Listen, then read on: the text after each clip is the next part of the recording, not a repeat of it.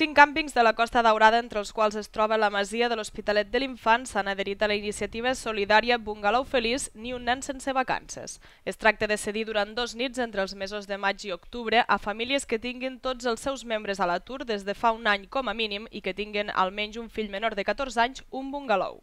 Esta iniciativa eh, se ha hecho a través de la Federación Española de Campings y bueno, los campings que quieren participar durante el mes de septiembre ofrecen alguna de sus instalaciones a, a familias que están en paro.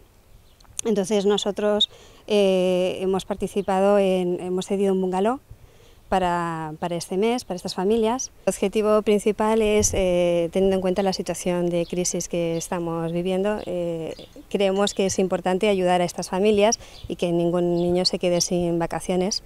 Entonces, pues hemos, hemos querido participar en, este, eh, en esta iniciativa y también pues por, para promocionar un poco lo que es el, el mundo del camping.